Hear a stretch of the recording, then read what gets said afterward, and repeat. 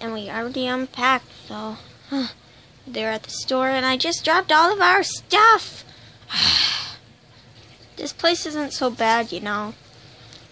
Yeah, we got a window now, which is cool.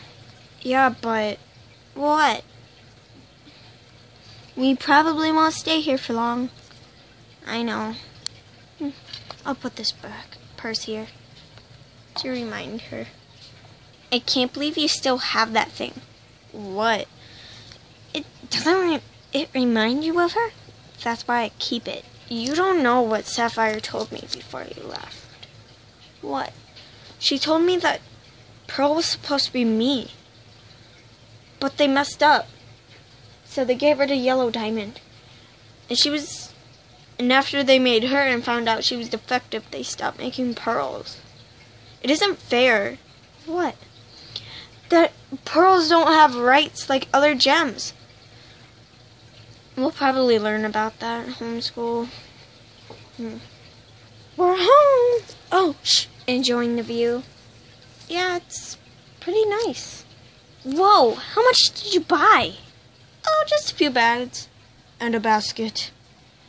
And we both got you a surprise. Really? Here. Hmm? A giant black box? Open it. It's a surprise. Oh.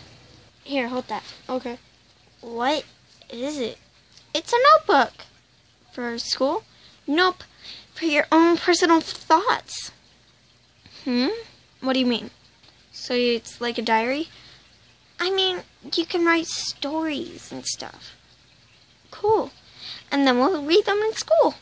Oh, that's the catch. What was the other surprise? We got you two fridges. Why just not buy one? We wanted to. Okay. Here's the first one. It's kind of small. It's a mini fridge. Ah. And here's the second one. It's so tiny. Yes, because it's for holding water bottles. Here. Ah! Eh. Okay, thanks.